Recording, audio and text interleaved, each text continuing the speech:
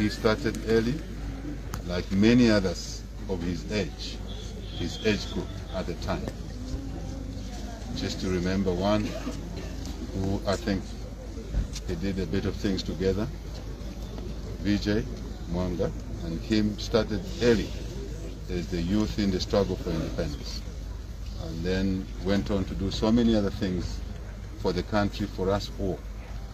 Beyond after liberation, they occupied key positions uh, during the infancy in the building construction of our nation.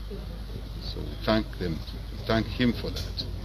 Obviously, as you know, fairly early on, he was Minister of Finance and then returned later on to be Minister of Finance again.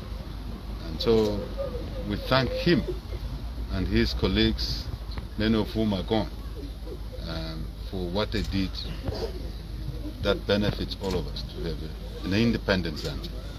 And obviously, the advancements that they made, as you know, after independence infrastructure, in many areas, they were responsible for that construction. Health, education, and everything else including the policies that saw some of us go to school to university free of charge. It is them who designed those policies. So we thank him for that. And I know the losses beyond the family, immediate family, extended family, all of us are in mourning. And I want to ask Zambians, as always, to mourn ABC you know, peacefully, uh, aggressively, respectful. And for me, most Zambians are unaware that I have a long relationship with him.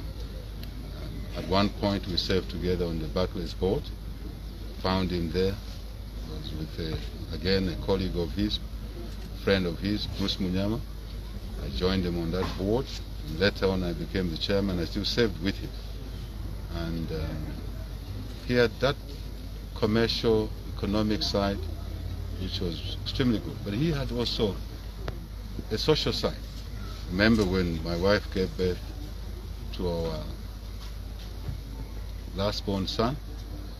She was in the queue then at Minibank, a place called Minibank, a clinic, and ABC walks in there, finds uh, my wife holding a baby. He didn't figure out that that was my wife. So I said, ah, whose child is this one?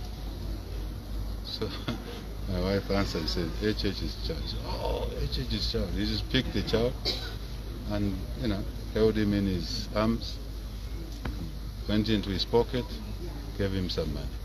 So most people are unaware of that relationship I've had, many of us have had with ABC. But he was a man of many talents, different things. So remember, uh, his good works live on. The best way of remembering ABC is to advance the interests of the nation, because these were nationalists. So that's my advice to young people. Let's work together, let's take this country where it should be, as those who came before us ABC being one of them, did. It's our duty to carry on. We would have wished that he, he would have been alive, but God gives, God takes. We only respect God's decision. Thank you. Anything else? Any question?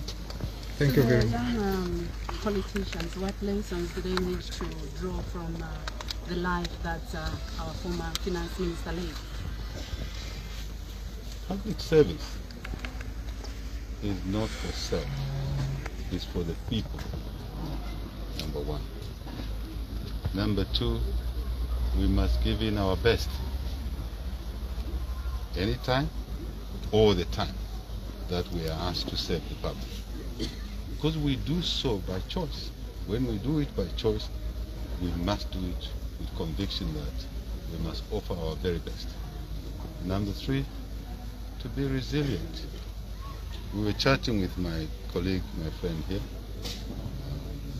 you know, Bwalya Ng'andu, that ABC had a long life, long career, resilience, on and off, staying the course.